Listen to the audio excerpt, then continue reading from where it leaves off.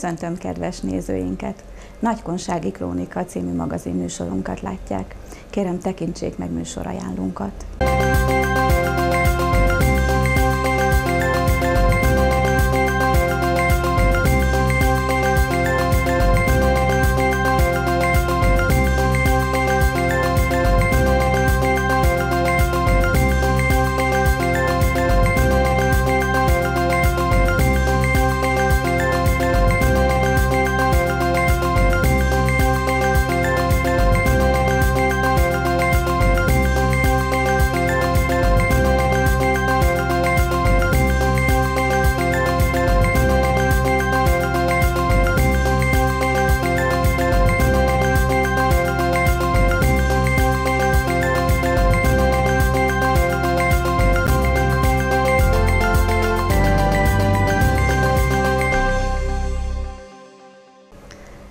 Aktuális című műsorunk vendége Szabó Józsefné.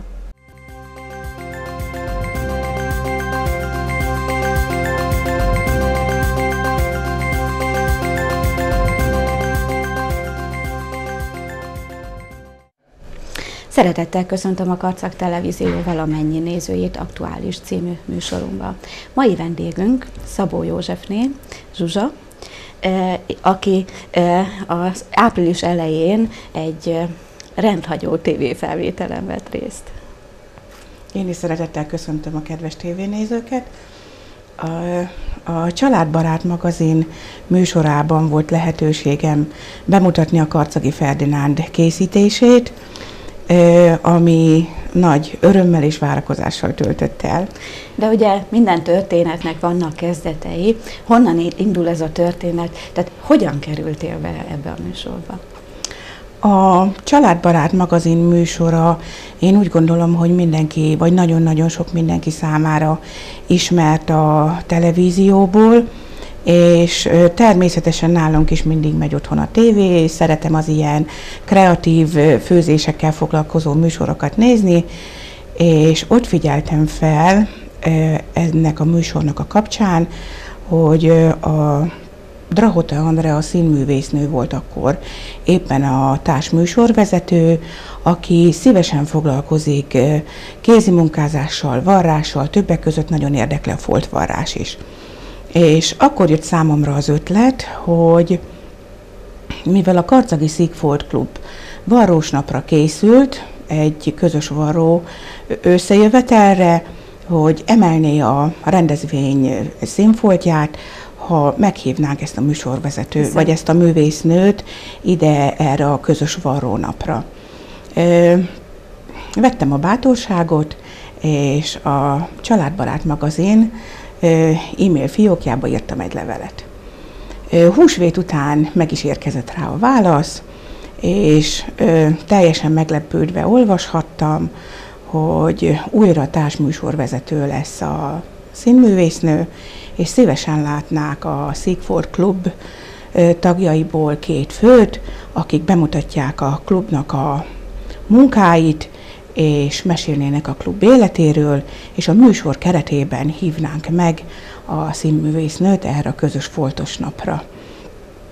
És szerkesztőnővel egyeztetve azt mondta, hogy meg nagyon kellene egy valaki, aki a családbarát konyhájába megsütni a karcagi Ferdinándot. Hát akkor így kezdődött a És így kezdődött ez az egész történet. dolog.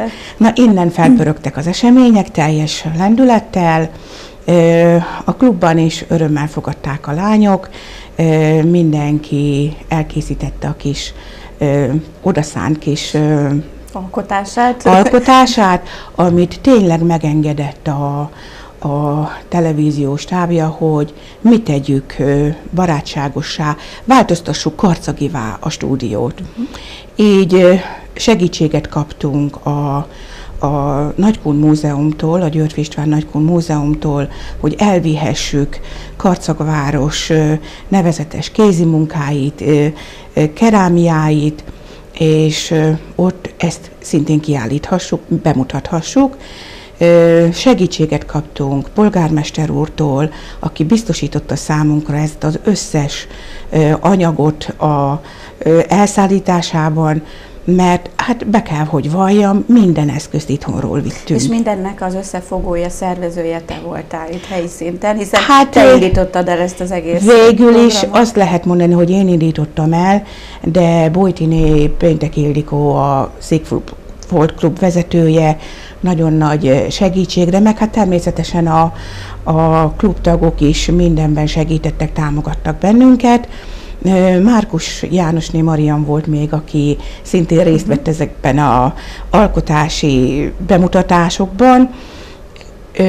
Jól éreztük magunkat, tetszett ez a dolog nekünk, de azért izgalommal indultunk. Vártuk az eseményt, de azért de, ö, úgy gondolom, hogy nem egy egyszerű dolog az, hogy egy nagy országos televízióban megmutatni egyrészt, hogy mit tudunk, ö, egyrészt pedig idő behatárolás között kell ilyen egy kész tésztát elkészíteni. Tehát egy ismeretlen helyen, egy tévéstúdióban, ahol ugye gondolom a, van, vannak majd kulisszatitkok, azokat majd el fogod nekünk mesélni, ahol gondolom jönnek percenként az instrukciók, hogy most éppen melyik kameraállás, és most tessék figyelni, és most ezt következik.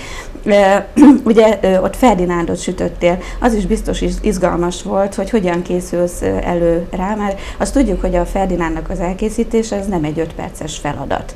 És nem biztos, hogy belefér egy ilyen műsoridőbe. Hogyan készültél erre fel?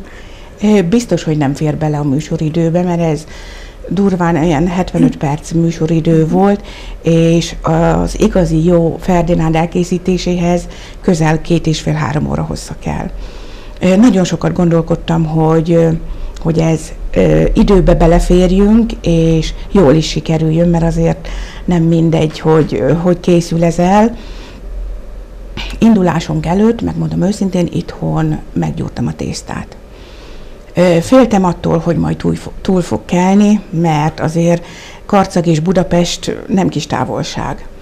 De megoldottuk ezt a problémát is, mert segítségekre volt a, a hűtőtáska, ami egy kicsit visszafogta a kelési időt, és pontosan mire a stúdióba értünk, már csak nyújtani kellett a tésztát. Kétszer, a stábtagok kétszer jártak a varrósarokba, háromszor jöttek a konyha részbe, be kellett mutatnom a előkészítési részét, tehát a, a tészta nyújtását, meg a kenés részét, utána pedig egy félkész állapotot, és természetesen a műsor végén ugye jött a kóstolási rész. Szerintem mindenki ezt díjazta legjobban, és mikor, mikor oda került az idő, hogy már most indul az élő, mert ugye ez egy élőadásról volt szó, na ott jött az izgalmas része, mert számunkra nagyon furcsa volt az, hogy mindenütt kamera, lámpák, televízió, műsor, az élő műsor uh-huh. ugye ment, és, és közben még figyelni kellett a Ferdinándra is, hiszen azt el kellett készíteni. Természetesen. Gondolom, hogy a, a saját kis lábassal, nyújtódeszkával, nyújtófával. Mindent itthonról vittünk, mindent itthonról vettünk, úgyhogy a, az autónak a csomagtartója megtelt. A nyújtódeszka, a nyújtófa, a lábasok, a hűtőtáska, tehát minden ilyen jellegű dolog. És mikor sikerült az, hogy most már belekerült a lábasba, akkor ugye egy kis kelési időszak volt, és jött a sütés.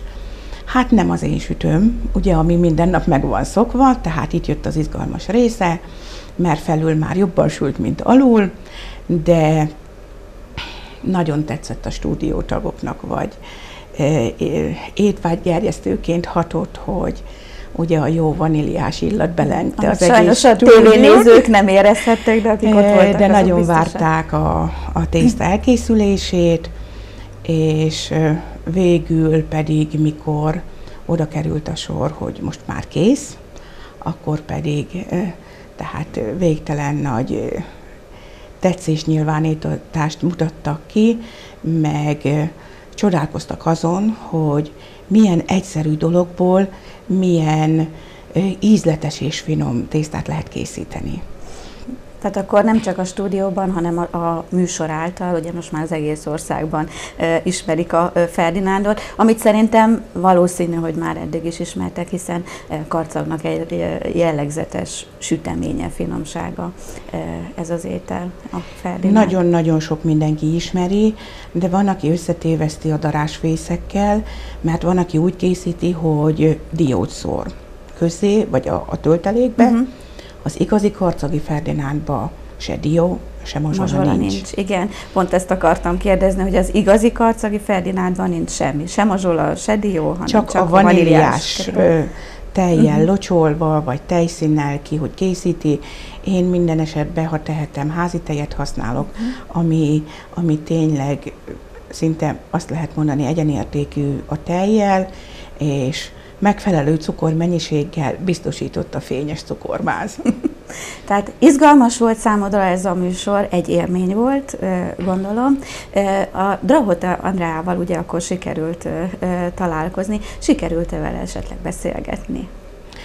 Persze természetesen egy kicsit közelebb kerültünk egymáshoz, őt, mint ahogy, ahogy gondoltam is, a, a varrás része érdekelte nagyon, ötleteket gyűjtött, cseréltek a lányokkal, de természetesen a konyhai dolog is megfogta, mivel unokái vannak, és ő is szívesen készít nekik finomságokat, a receptet ő is elkérte.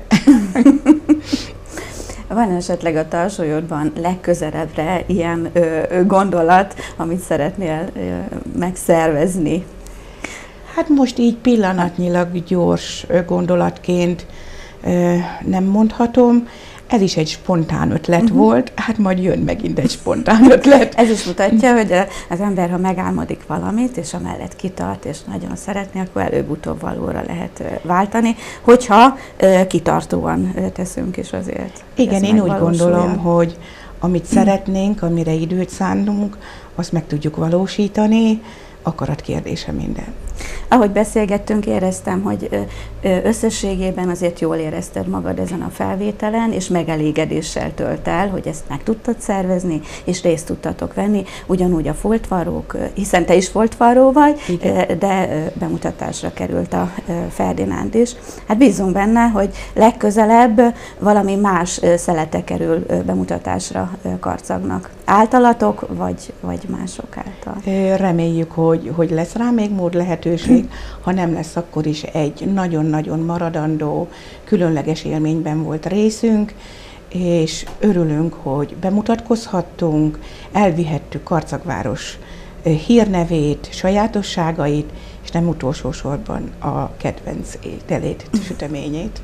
Én kívánok neked további ötleteket, álmokat, amit majd meg fogsz valósítani, igen kreatívan segítséggel. Köszönöm szépen a beszélgetést, hogy Én is nagyon köszönöm. Köszönöm szépen. Kedves nézőink, köszönöm szépen a figyelmüket.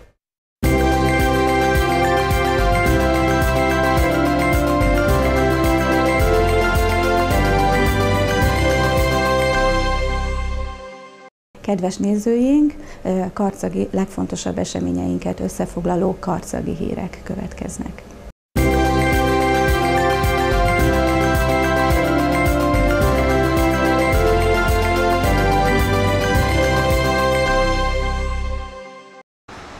Köszöntöm Önöket, itt vagyunk a Karcagi Nagypó Református Gimnázium és Egészség Szakközépiskolában.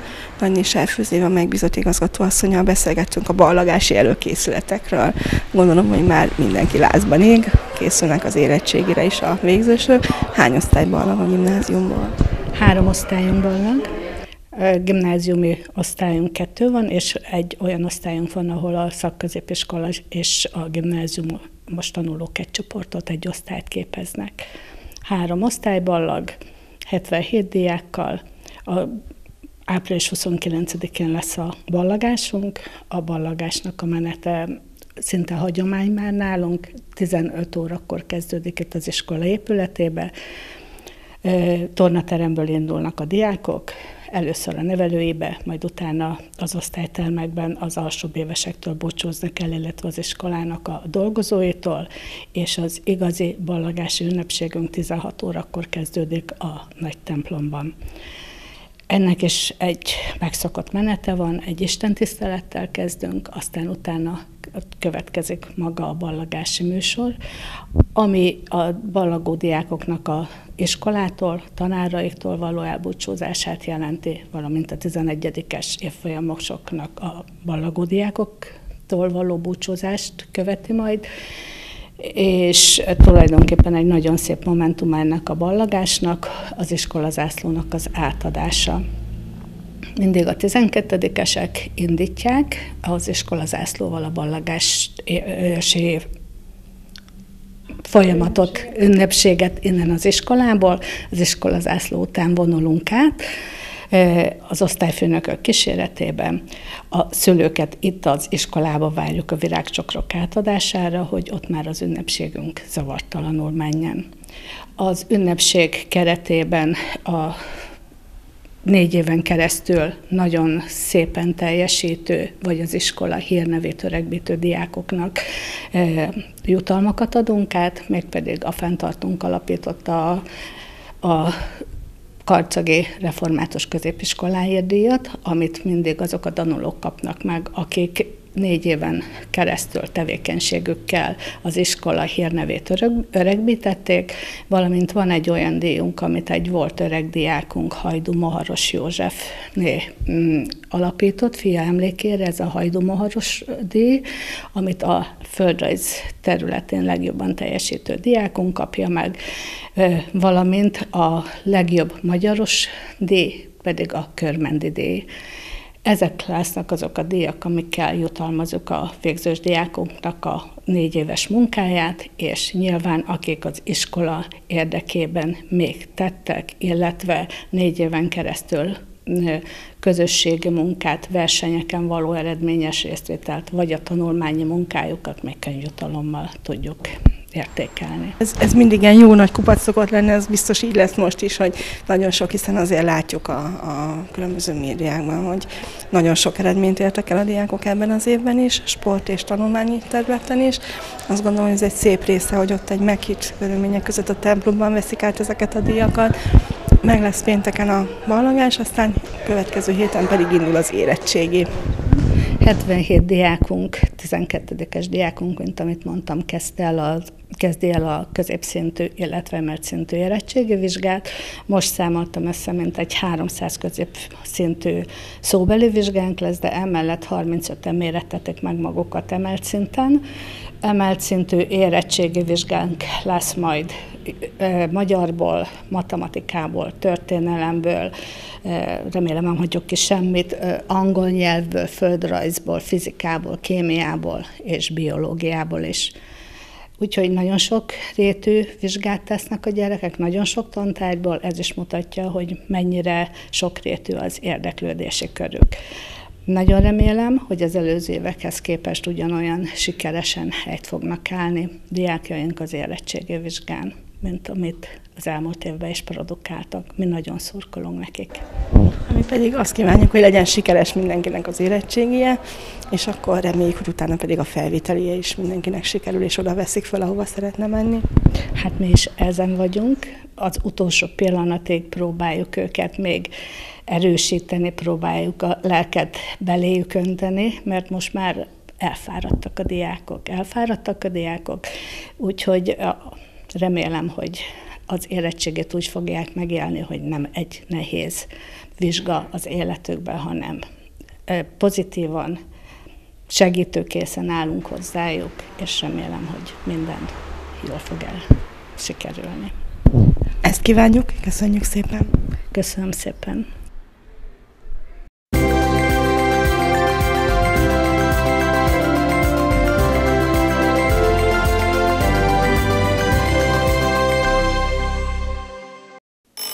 Köszöntöm Önöket, itt vagyunk a Szent Annai Sámán középiskolában, hiszen hamarosan kezdődik a ballagás.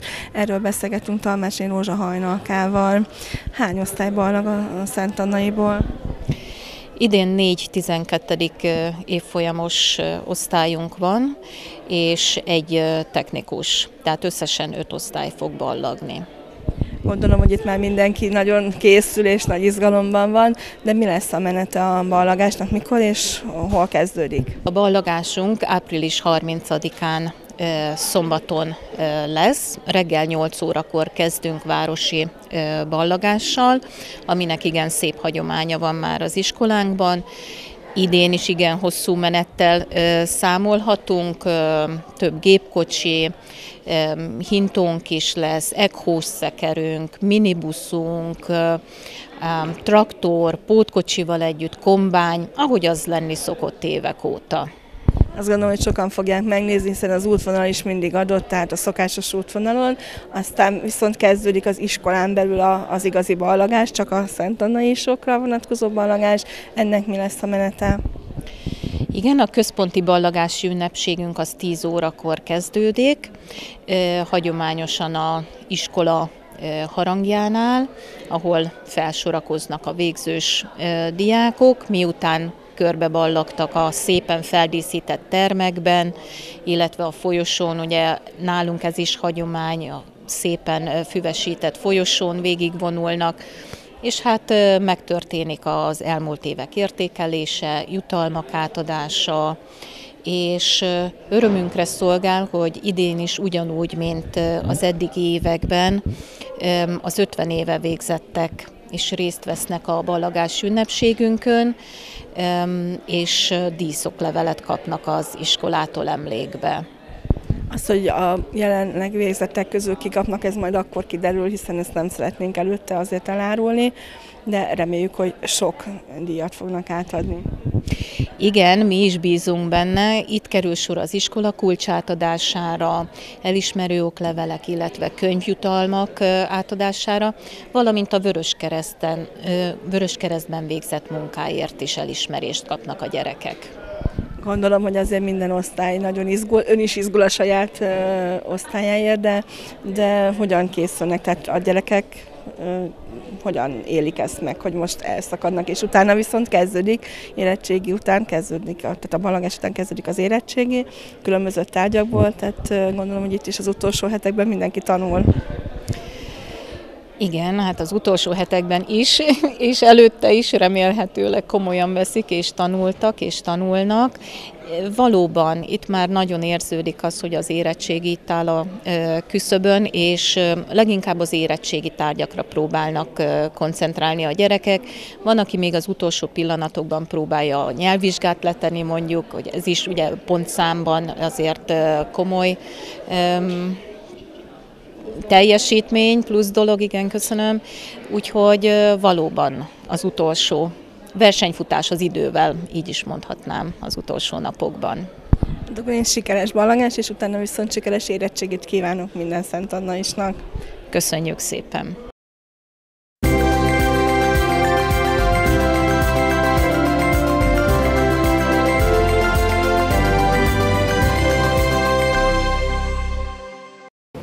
Köszöntöm Önöket, Puháni Urbán Katalina, a Karcagi Szakképzési Központ Varó István Szakiskolája igazgatónőjével beszélgetünk a ballagásról, hiszen már már javában készülnek a végzősök. Hányan végeznek idén az iskolában? Én is köszöntöm a kedves nézőket. Így van, a, ezek a hetek, ezek a napok a ballagás megszervezéséről szólnak. Nagyon készülünk rá, mint minden évben. A ballagás időpontja az április 29, péntek délután 4 óra. Öt osztály fog ballagni idén, két osztály szakközépiskolában érettségi vizsgát fog tenni, három osztály pedig valamilyen szakma megszerzésére készül.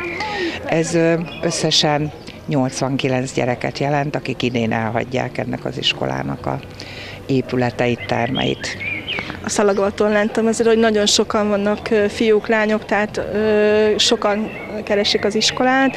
Ö, melyen szakmákban végeznek, hiszen ott összevont osztályokat láttunk, tehát ahol más-más szakmacsoportokat is tanulnak.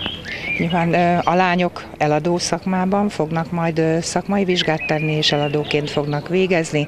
A fiúk gépi forgácsolóként, épületi szerkezetlakatosként, asztalos és festőként hagyják majd el az iskolát meg lesz a ballangás, és utána pedig indulnak az írásbeli szóbelik, hogyan áll össze ez a másfél hónap.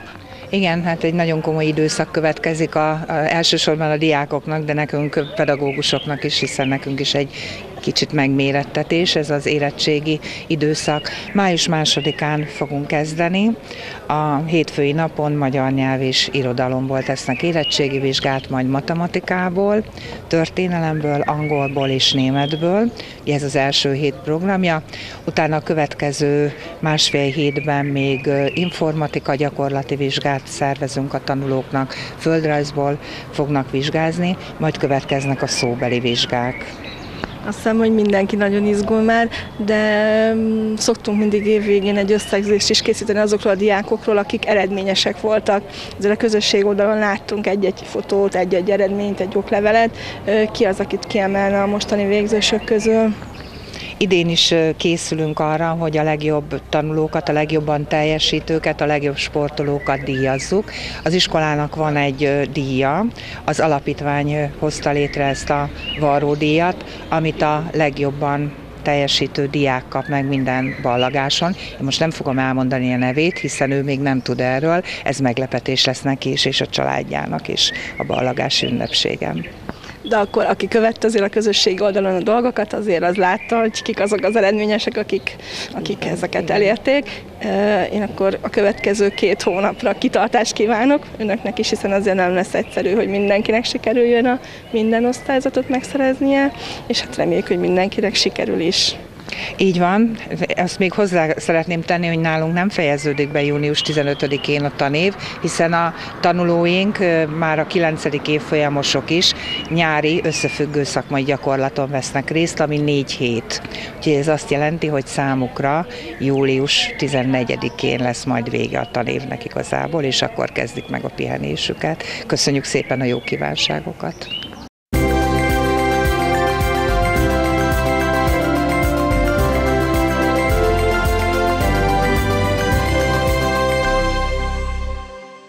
Köszöntöm Önöket, itt vagyunk a Kenderesi Szakiskolában. Dr. Fazekas Sándor fölmesi miniszter úrral beszélgettünk, most éppen a Holti kastélyban, de nem ezt újították föl, hanem az iskolának két épülete szépült most meg. Ennek volt ma az átadása. Mit szól ahhoz, milyen lettek az épületek? Főnösügyi Minisztériumnak egy fontos feladata, hogy valamennyi iskolánk a lehető legjobb karban legyen. A Kenderesi Mezőgazdasági Szakiskolánál is megkezdődtek a munkálatok, és ennek az egyik üteme volt a mostani, ahol a tanügyi épület és különböző műhelyek kiegészítő létesítmények újultak meg. Ez egy 130 millió forintos energetikai program.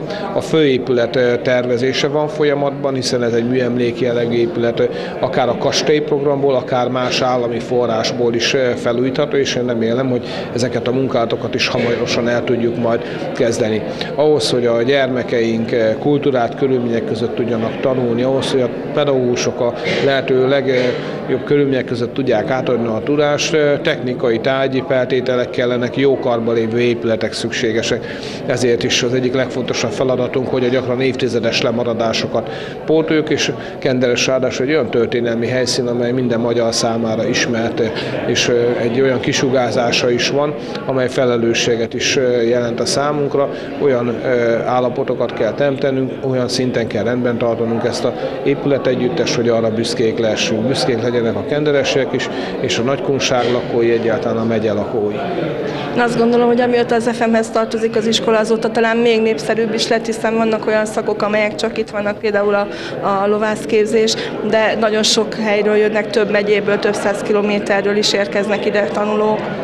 Az elmúlt években a mezőgazdaság eh, talpra állt, és ennek megvan a hatása a jövőképre nézve is. És egyre többen vállalják azt, hogy eh, mezőgazdasági termeléssel, jószágtartással, vendéglátással, élelmiszer feldolgozással foglalkozzanak, és ez a beiskolázásoknál is látszik. Egyúttal egy profil tisztítás zajlik az FM intézményeiben, hogy lehetőleg tiszta eh, profilú agrárképző intézményeink legyenek. Nyilván az élelmiszer gazdaságot, a környezet gazdaságot is hozzá kell ez kapcsolni, tehát mindazokat a területeket, amelyek összefüggenek a termelésben és a vidéki életben egyaránt. Itt az előbb láttuk, hogy a tanműhelyek is megszépültek, a tankonyha is, tehát a gyakorlati oktatásnak a, a lehetősége is még jobbak lettek. Gyakorlati képzés nélkül nem lehet szakképzés. Nekünk az a célunk, hogy akik itt tanulnak, ne csak elméleti tudással rendelkezzenek, hanem a szakmának a mesterségbeli fortiaiból is minél többet megtanuljanak. Van egy tangazdasága az intézménynek, tankonyhák vannak, a tanterületen például almáskert található, de nagyon fontos az, hogy legyen eleven kapcsolat a különböző mezőgazdasági termelőkkel, gazdákkal és cégekkel egyaránt, ahol a gyakorlati oktatásban a plusz ismereteket meg tudják szerezni a gyermekek.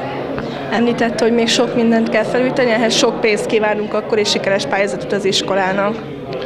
Köszönöm. Hát a főnösügyi minisztérium is pályázik, tehát most éppen 10 iskolának a pályázatát rendezzük össze, hiszen eh, mintegy 70 szakképzési helyünk van, eltérő állapotban egyébként. Vannak, amelyek jobbak, a karcagi például kifejezetten jó állapotban van, a kenderesi az most eh, lesz eh, visszaállítva, helyreállítva, de sok teendő van. De azt hiszem, hogy ez egy természetes dolog, hiszen egy ekkora intézményrendszerben, amely néhány éve került vissza, néhány éve került vissza a főnösügyi minisztériumhoz, mindig akad munka.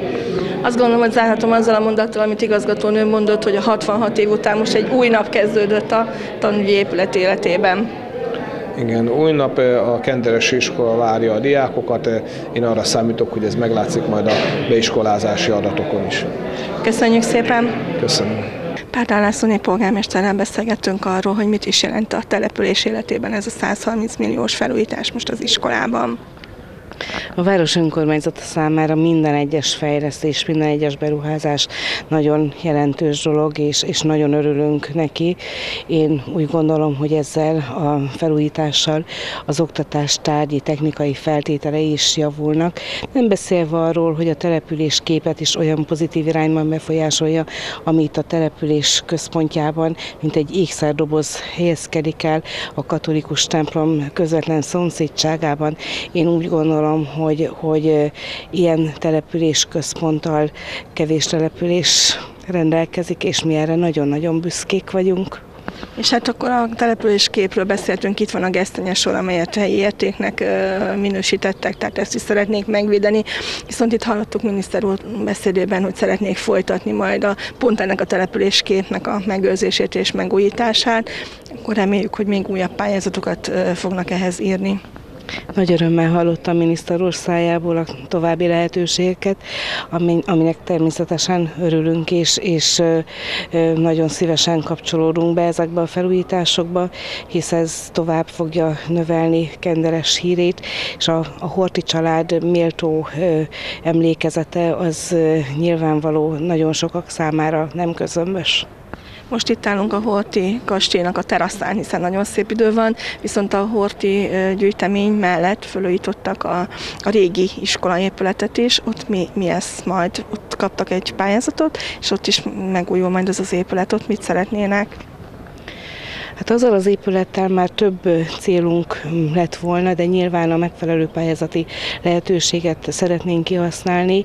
Nagyon szeretnénk egy turizmusfejlesztési pályázatba bekapcsolódni, aminek kapcsán akár szálláshelyek kialakítását tervezhetjük benne, vagy olyan régi mesterségek, elfeledett mesterségeknek a bemutatása, vagy maga a, a kunságnak a, a bemutatása is megvalósulhat ebben az épületben évben. Én nagyon bízom abban, hogy minél hamarabb sort tudunk keríteni rá, hisz ez az épület az elavultsága révén nagyon-nagyon lehangoló a városházával szemben, és akkor itt tovább megyek, mert a városháza is felújításra szorul, amelyet ugyancsak a 2014-20-as fejlesztési időszak pénzéből szeretnénk felújítani, és ugyanígy a művődési házat is.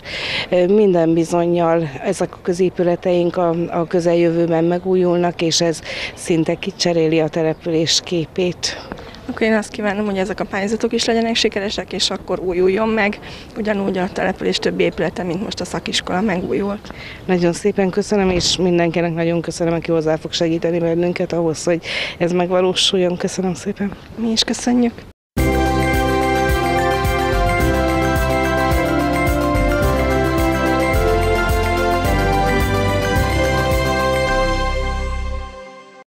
Köszöntöm Önöket a Csokonai Könyvtárból. Hamarosan kezdődik egy verseny, hogy mi is ez pontosan az a Sótiné Szatmári Dórával, a Dérini Kulturális Központ igazgató helyettesével beszélgetünk. Itt mögöttünk már mindenki lázasan készülődik. Annyit azért elárulhatunk, hogy óvodások már tegnap voltak, most nagyobbak lesznek ezen a versenyen. Mi is ez a verseny? Így van, a Csigabiga Palota mesemondó versenyt, hát már mondhatom, hogy évtizedek óta meghirdetjük itt Karcagon az általános iskolások és az óvodások számára. Ez az általános iskolásoknál az alsó tagozatosokat érinti, Ma az első-másodikosok fordulója veszi kezdetét, egy pár perc múlva. Tegnap az óvodásokat hallhattuk, és holnap a harmadik, negyedik osztályosok lesznek. Azért kell három napra tenni, mert mindig olyan nagy volt az érdeklődés, hogy nagyon-nagyon elnyúlt volna. Most is több mint 30 mesemondónk lesz, közel 40 mesemondónk lesz ez alatt a három nap alatt, és elég hosszú meséket tanulnak meg ezek az ügyes kisgyermekek, óvodás iskolások, általános iskolások, úgyhogy mind a zsűrinek, mind a, a mesemondóknak, mind pedig a nézőknek igyekszünk három szép délutánt hozni, illetve hát megterhelő ennyi mesét azért végighallgatni. Azt gondolom éppen ezért van minden három nap három zsűri, aki, aki van külön az ovisoknak és van külön a másik két korcsoportnak is. Soroljuk el, hogy kik a zsűri tagjai, és nyugodtan nézze a papírját. Így van, tegnap az ovisoknál Gulyás Ferencné, Jolika néni, az óvoda vezetője volt a, a zsűri elnöke, és az ő két segítőtársa Erős Edith, aki a Karcagi Általános Iskola és Alapfokú Művészeti Iskola pedagógusa, illetve Takácsné Csikós Anikó, aki a Karcagi Nagykor Református Általános Iskola igazgató helyettese.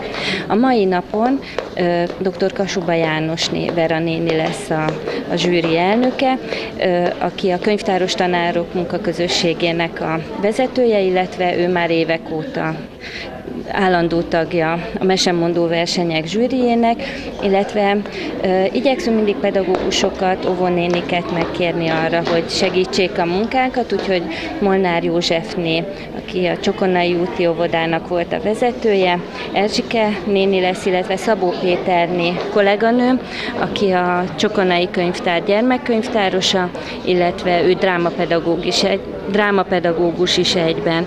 Holnap pedig dr. Kovácsné Mikola Éva, szintén nyugdíjas pedagógus, Rapi Lajosné, Lenkenéni ő is magyar szakos pedagógus ő lesz, és Tóth Istvánné Mártika. Őt szerintem mindenki ismeri, hiszen ő mesemondó számos városi rendezvényen, versenyen láthattuk már, hallhattuk már, élvezhettük az ő meséit, úgyhogy ők lesznek a, a zsűri tagjai, ők voltak a zsűri tagjai. És hát azt gondolom, hogy most a kicsik is izgulnak, de itt beszéltem szülőkkel, van szülő, aki jobban izgul, mint a saját gyerkőce, hiszen van, aki már nem először indul ilyen versenyen. Azt gondolom, hogy csak úgy leülni és hallgatni ezeket a meséket is megéri egy szülőnek, hiszen nagyon szép élményekkel mehet haza, és szép meséket hallhat. Így van, és nem csak a szülőknek, hát mi is már évek óta hallgatjuk ezeket a meséket, én zsűriként is, hát szülőként nem, de zsűriként, de én azt gondolom, tegnap én csak nézőként Szülőként néztem, de még én is izgultam a gyerekekért, tündérek, ahogy itt állnak a mikrofon előtt, hiszen próbáljuk egy kicsit már szokatni őket a világot jelentő deszkákhoz, rajtuk látszik a legkevésbé, hogy izgulnak, tehát én, azt gond, én most szerintem jobban izgulok itt a tévéfelvételnél, mint ahogy ők, tehát nagyon-nagyon profik, amilyen kicsik, annyira profik, és annyira lelkesek, annyira ügyesek, olyan hosszú meséket tanulnak meg, hogy nekünk sokszor olvasni, olvasni nehéz. Főleg tegnap ez az óvodásoknál jött ki, hogy volt olyan, aki több mint 8 perces mesét mondott, közel 9 perces mesét, ezt megjegyezni, megtanulni úgy, hogy élvezhető, hallgatható legyen, ez pedig egy külön művészet, úgyhogy én köszönöm mind a felkészítőknek, mind a szülőknek, hiszen nagyon sok szülői munka van ebben, pedagógusi munka, és nagyon-nagyon köszönjük a gyerekeknek, hogy ilyen szép délutánokat okoznak nekünk, szép délutánok ban lehet részünk a segítségükkel. És hát azt gondolom, hogy az is nagyon fontos, hogy ezek a gyerkőcök, akik most olvasnak, később is fognak olvasni, és van esély arra, hogy nem a számítógép mögött fognak ülni órákon át, hanem meséket, kiadványokat nézegetnek, és különböző feladatokat is megoldanak, hiszen ők azok, akik utána versenyeken is részt vesznek. Én akkor azt kívánom, hogy mai délután is csak úgy szárnyaljunk együtt a mese szárnyan a gyerekek segítségével.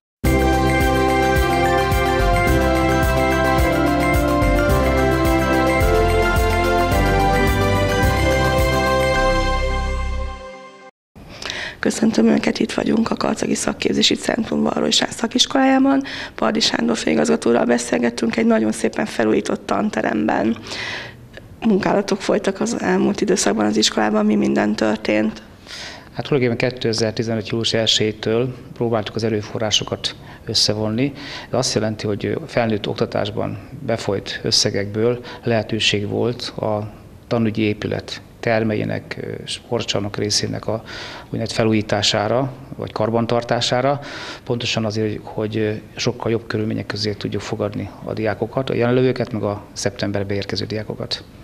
Itt ez egy számítástechnikai tanterem, még mindennek friss illata, friss, érződik a friss fa. Látszik, hogy még a gépek is nagyon éppen újak, még éppen csak ki lettek bontva, de azt gondolom, hogy fontos, hogy az iskolának egyre korszerűbbek legyenek az eszközei, hiszen a felnőtt oktatás lesz a jövőnek az egyik új ága, amiben lépnie kell a centrumoknak is. Hát mi nagyon szeretnénk az, hogyha az intézményeink szeptemberre nagyon korszerű körülmények, a lehetőséghez mérten korszerű körülmények legyenek. Pontosan ezzel szeretnénk azokat a hallgatókat bevonzani az intézményeinkbe, hogy azt lássák, hogy itt azért van fejlődés, és szeretnénk a kor követelmények megfelelően lépést tartani. Amikor először beszélgettünk, mint centrumigazgatóként, akkor azt mondta, hogy a, ahol most a volt könyvtár épületét is szeretnék felújítani, tehát hogy arra törekszik, hogy nyolc iskola tartozik a centrumhoz, és mindenhol vannak különböző szakmák, és szeretné, hogyha a diákokat bevonnák ezeknek az épületeknek a felújításába. Ez most hol tart?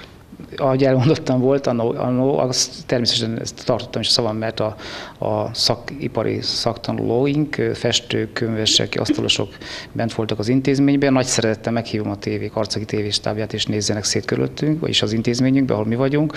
Én úgy gondolom, hogy nagyon sokat szépültünk, nem vagyunk még teljesen kész, de igyekszünk rendbe tenni az intézményt, a felső szintet. Én azt gondolom, sokkal jobb és korszerű körülmények között dolgoznak kollégáim, akik ott vannak, mint amikor kezdtük. Tehát minden körül nekik különben is várom önöket, hogy nézzenek szét nálunk. Igen, én most azért kérdeztem, mert láttam, hogy ott dolgoztak, tehát munkálatok folytak, akkor ezek szerint be is fejeződtek a munkálatok. Egyébként a nyolc intézményben mi a helyzet? Mindenhol lesznek most különböző rendezvények, ma van a szakmák éjszakája is. Gondolom, hogy erre is nagyon készült mindenki. Igen, én úgy készültem most mai napra is, hogy minden intézményt körbe szeretnék látogatni. A nyolc intézményből hat biztos, hogy van program, és kettő társult a hat intézmény egyikéhez. Nagyon színes és változó programmal várják a gyerekeket, a fiatalkorúakat, illetve a szülőket, és beszeretnénk mutatkozni, hogy mit tudunk mi, mint szakképző intézmények, és szeretnénk, hogyha a szülők, gyerekek elgondolkodnának, és a pályaválasztáskor a következő tanévtől választanák az intézmények, és látnák az, hogy milyen sok lehetőség van a szakmatanulásban reméljük, hogy azért a beiskolázással sehol nem lesz gond. És még egy gondolatra szeretnék visszatérni, amit szeptemberben beszéltünk. Azt ígérte akkor, hogy át fogják tekinteni néhány év alatt a szakmákat, hogy ne legyenek párhuzamos képzések a centrum iskoláiban. Gondolom, hogy azért ez a mostani beiskolázásnál még nem mindenhol történhet meg, de évek kellenek hozzá, de ezt gondolom, ezt a munkát is elkezdték. Igen, hozzákezdtünk. El kell mondanom, hogy az idő rövid volt még ahhoz, hogy teljes mértékben átnézzük, de az a célunk, hogy lehetőséghez mérten azok a iskoláink vagy tagintézményünk, ahol a jelentkezők száma magasabb oldal szeretnénk koncentrálni adott szakmát, természetesen csak az elméleti képzés, a gyakorlat ugyanúgy folyhatna azon a településen a diákél. Tehát mi azt szeretnénk hosszú távon, ez nem mindenképpen racionalitás és a humán erőforrással való gazdálkodás területén. Hát akkor azt gondolom, hogy feladat az van bőven, és akkor mondhatjuk, azt apró lépésekkel haladnak. Ennek a mai nap egy szép állomása itt a Varró István szakiskolában. Reméljük, hogy több hasonlóan lehetünk még hamarosan. Mi szeretnénk, én, én azt szeretném, hogyha ez elindult szakmák éjszakája, ez nem egyszeri alkalom lenne, hanem egy, egy hosszú távon, egy minden évben ismétlődő nagy bemutató tulajdonképpen az intézmények bemutatkozása, amivel talán a leendő szakmunkásainkat, akik majd hozzánk fognak jelentkezni, akármelyik tagintézmény, intézmény, valamelyik tagintézményünkbe, akkor választják ezt az iskolát, azt a szakmát, és látják, hogy itt is van nagyon sok szép dolog, amit meg lehet tanulni, és örömük levenni. Alkothatnak. Akkor most jelképesen mondhatnám azt, hogy eredményes éjszakát kívánunk az iskolának, hiszen akkor ma sokan megismerhetik a kínálatot, és reméljük, hogy sokan választják a varrót. Köszönjük szépen! Köszönöm szépen a lehetőséget, és várunk mindenkit szeretettel az intézményeinkbe.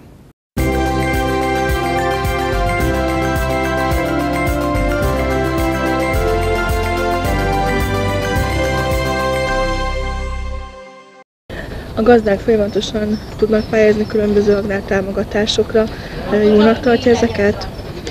Hát ezek a pályázatok, amelyek már eddig meghirdetésre kerültek, meg amik folyamatban vannak, ezek messze menően a gazdatársadalom érdekeit és a nemzetgazdaság érdekeit szolgálják. Az a lényege, hogy a négy fő irány az állattenyésztés, kertészet, öntözés és a feldolgozó üzemeknek a támogatási rendszere, ez kiemelten fontos mind a négy szakterület, és ennek a négy szakterületnek a pályázatai folyamatosan jelennek meg, és mindaddig nyitottak, amíg a időjárás, tehát az időszakban, tehát 2014-től 2020-ig, de 2020-ig meg tudnak jelenni. Tehát mindaddig folyamatosan rendelkezésre állnak, lehet pályázni, és a egyszerűsített lehetőségek maximális figyelembevételével megvan a lehetőség a gazdatársaknak, hogy a saját vállalati stratégiájukat kialakítsák, a stratégiájuknak megfelelően pedig a pályázatokat rendszerezzék magukba, és a pályázatokra jelentkezzenek be. Akkor ezzel lehetőséget kapnak arra is a több lábonállás érdekében, hogy esetleg egy növénytermesztés mellé állattenyésztés is nyissanak. Igen, hát ezek a pályázatok nagy mértékben elősegítik azt a több lábon állást, hogy ami stratégiai cél egyébként a mezőgazdaságban, meg a vidékfejlesztésben, hogy ne csak nyersanyag termelés legyen, hanem a megtermelt anyagokat saját magunk feldolgozzuk, kiszereljük és értékesítsük. Tehát a hozzáadott érték annál a gazdánál legyen a feldolgozott terméket tekintve, aki a nyersanyagot előállította.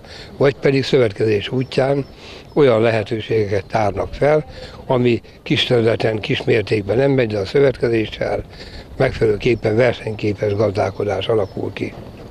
A családi gazdálkodóknak melyek a, azok a támogatások, amelyeket elsősorban ők vehetnek igénybe? Hát a családi gazdálkodók vannak a központban. A minisztériumnak, illetve a nemzetgazdaságnak, a kormánynak az a fő célja van, hogy a családi gazdaságoknak a földterület biztosítását, a technológia, a finanszírozás és a feldolgozó üzemek, valamint az állattenyésztésben adódó lehetőségeket feltárják, ezeket a lehetőségeket biztosítják a családi gazdálkodók számára, hiszen ez az alapja a magyar nemzetgazdaságban a vállalkozásnak, illetve hát a mezőgazdasági ö, ö, gazdálkodásnak azért, hogy a családi gazdaságok a legjobban tudják feltárni azokat a lehetőségeket, amelyeket a Unió, illetve a saját pályázati rendszerünk lehetővé tesz. Fiatal gazdáknak van-e pályázat most? Igen, fiatal gazdáknak is volt, van, meg lesz lehetősége pályázni, illetve a fiatal gazda pályázatok is szintén lehetőségként állnak rendelkezésre, kiemelten. Egyébként jelenleg is már a földalapú támogatásnál, ha valaki azt veszi igénybe, akkor további lehetőséget kap, több a földalapú támogatást kap, amit bármire felhasználhat, akár fejlesztésre is, vagy fejlesztése saját erőnek.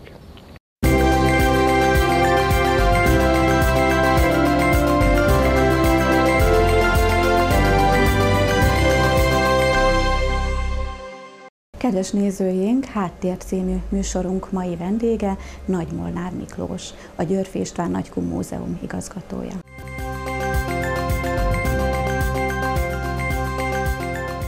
Szeretettel köszöntöm kedves nézőinket Háttér című műsorunkba. Mai vendégünk Nagy Molnár Miklós, a Györfi István Nagykun Múzeumnak az igazgatója. Köszöntöm itt a stúdióban. Köszöntöm én is Önöket. Beszélgetésünk témája, ugye a tavalyi évben indult egy pályázat itt Karcagon, karcagiaknak. Kovács Szilvia polgármester asszony volt az ötlet gazdája, hogy fotókat gyűjt a múzeum, régi családi fotókat. Mi most a helyzet egy év elteltével ezen a területen? Mennyi fotó gyűlt össze? Mi lesz ennek a sorsa ezeknek a fotóknak?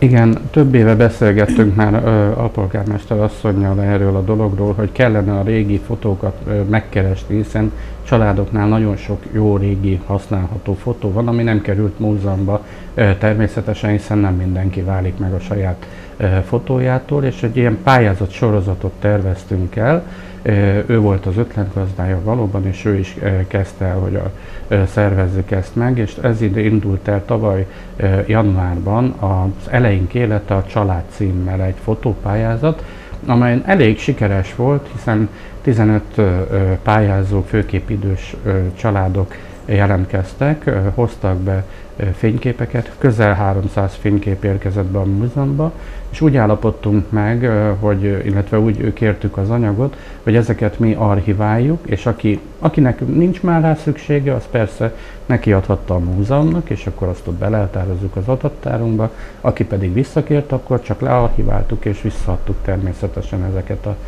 képeket. Tavaly novemberben volt egy, illetve októberben volt egy konferencia az első világháborúval kapcsolatosan, és ott volt az, ennek a pályázatnak az eredmény hirdetése és ott összegeztük, hogy milyen sikerrel járt, milyen lehetőségek vannak ebben a pályázatban a továbbiakban. Ott már állapodtunk meg abban, illetve ott jelentettem ki én is, hogy ezeket a fotókat most folyamatosan dolgozzuk fel, és ebből majd ebben az évben egy kiállítást fogunk csinálni a múzeumban. Várhatóan ott november körül lesz ebből a kiállításból valami és akkor folytattuk tovább az ötletünket, hogy a következő téma pedig a munka lehetne. Tehát a munkafolyamatokról nagyon sok fénykép készült, egyrészt ugye a múlt század elejéről, amikor már elkezdtek fényképezni, és hát itt van a 60-as évek, az 50-es évek után ugye az a viszonylag szabadabb időszak, amikor a 60-as években elindultak ugye a házépítések, a Kalákában való építkezés a 60-as, 70-es években, és ezeket sokszor megörökítették, hiszen már több embernek volt fényképezőgépe, és ezeket várjuk főképpen, az ilyen családi kaláka munkákat, disznótorokról fényképeket, hiszen azokról is készültek, vagy egyéb családi folyamatokról, családi munkáról. Tehát egyfajta családi életet folytatnánk itt is, csak uh-huh. itt alapvetően a munka, a ház körüli munka,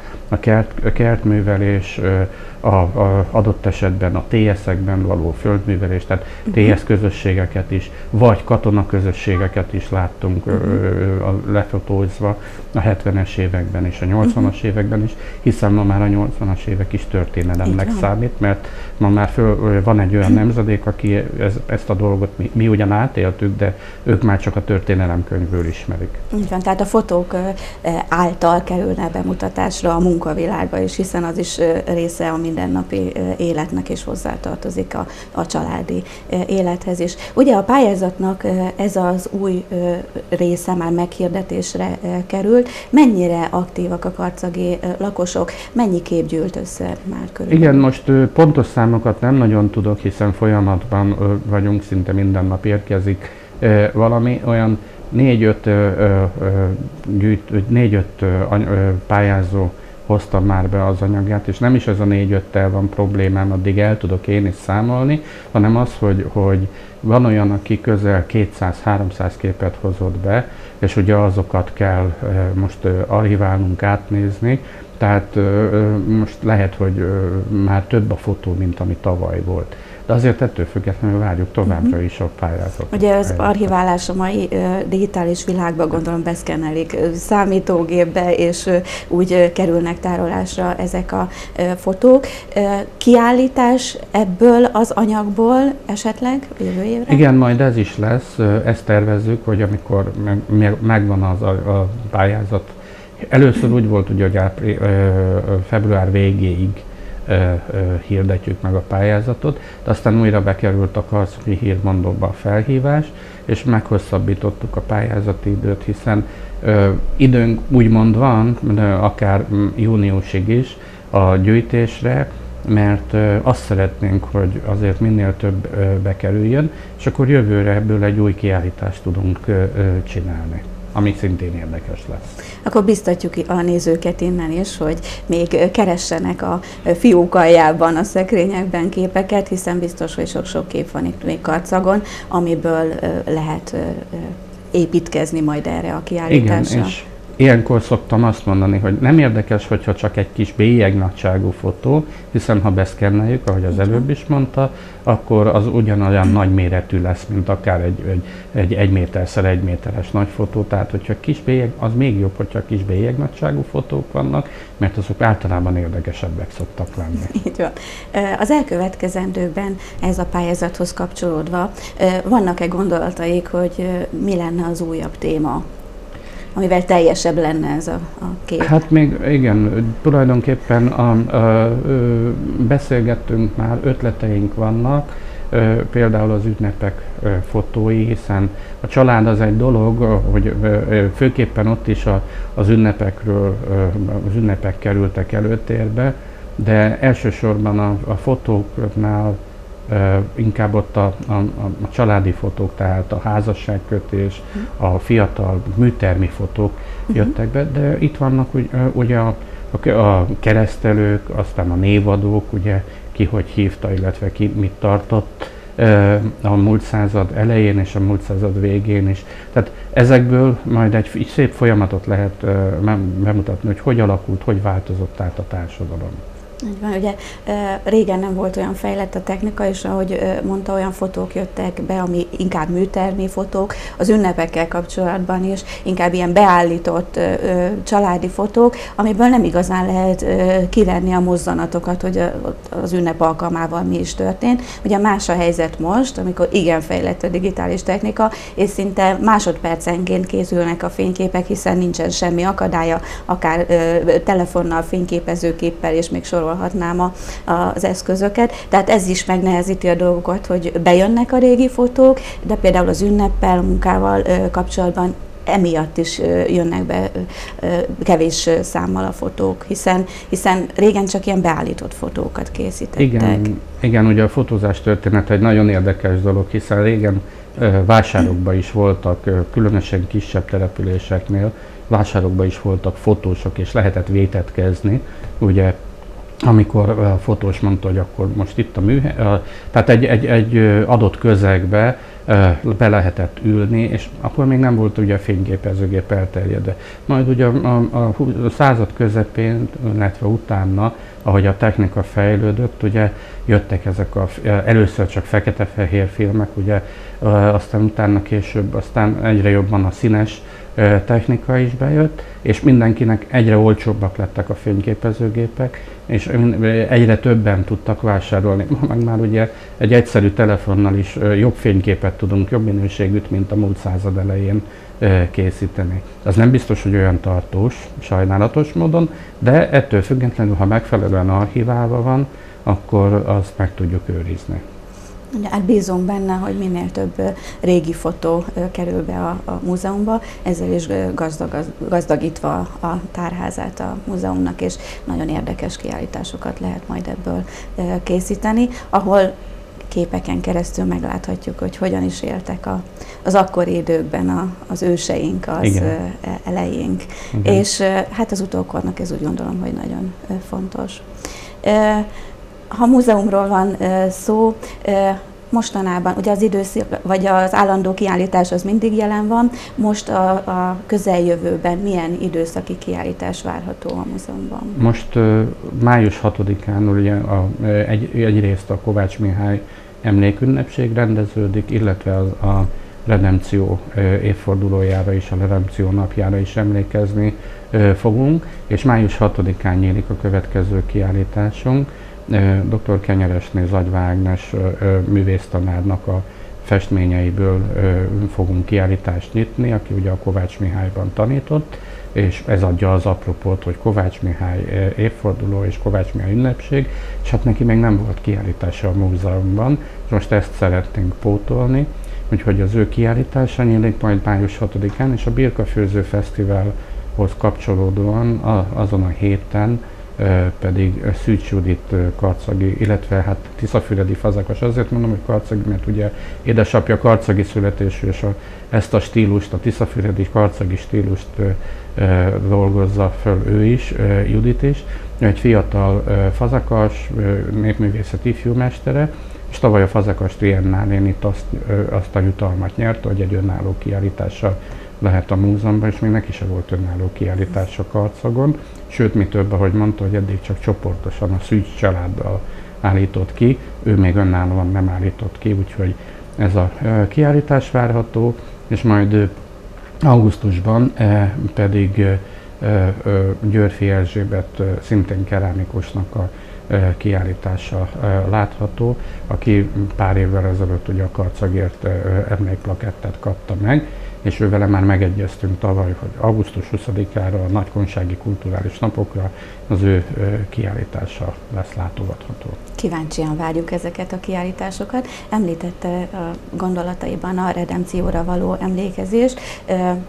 Itt a városban most hogyan fogunk emlékezni a redemcióra, milyen ö, programok lesznek, erről? Tud -e néhány gondolatot E, igen, általában ugye az iskolák szoktak, mivel hogy az iskoláknak a, a fő, fő feladata ugye, hogy emlékezzenek leginkább erre a dologra, illetve hogy ne, fel, ne merüljön feledésbe, hiszen pár évvel ezelőtt, 2010 2003-ban, ha jól emlékszem pontosan, akkor hagyta jóvá a parlament a Redempció emléknapjává, tehát akkor nyilvánította a Redempció emléknapjává ö, ö, május 6-át, nem 2014, bocsánat, a választás éve volt, igen, akkor nyilvánították a Redempció emléknapjává a május 6-át, hiszen Mária Terezia 1745-ben ekkor írta alá azt a diplomát, ami meghatározta a 19.-20. századi magyar nagykonsági és a jássági társadalom történetét.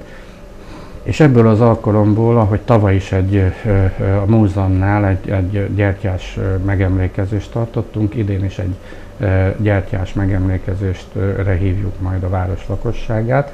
Most nem 7 órára, hanem fél nyolcra szervezzük ezt a rendezvényt, hiszen a gyertya az úgy szép, amikor már félig sötétben vagy sötétben ég, és ugye a tavalyi dolgokból uh-huh. okulva, hogy félig világos volt még, azért szeretnénk egyfajta más hangulatot ebben az évben előidézni, és akkor természetesen megemlékezünk arról, hogy mi is volt ez a redempció, és most alakul még a program, hogy mit szeretnénk ezen a ö, ö, nem hosszú megemlékezésen, de mégis emlékezzünk közösen arra, hogy milyen nagy tettet hajtottak végre a 18. században a kunságiak és erre a megemlékezésre ugye várják a karcag valamennyi lakosát, a gyerekektől a felnőttekig mindenkit, akit érdekel, hiszen akkor igazán ünnep egy ünnep, hogyha minél többen részt vesznek azon, és részesei lehetnek. Így van, és egy ilyen nagyszerű dologra, mint ami azért mege, meg, megelőzte a korát, hiszen azért ugye a jobbágy felszabadítás már csak később,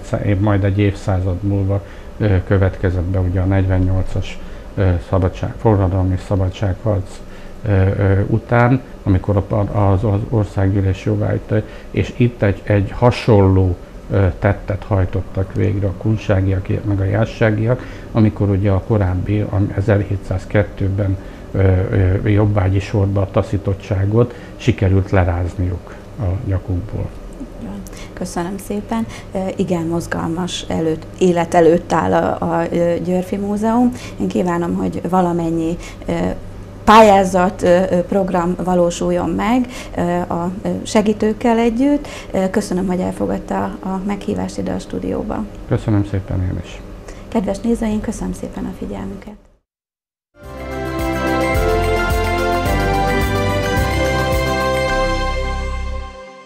Kedves nézőink, köszönjük a figyelmüket. Rövid reklám után folytatjuk műsorunkat. Kérem, tartsanak velünk a jövő heti viszontlátásra.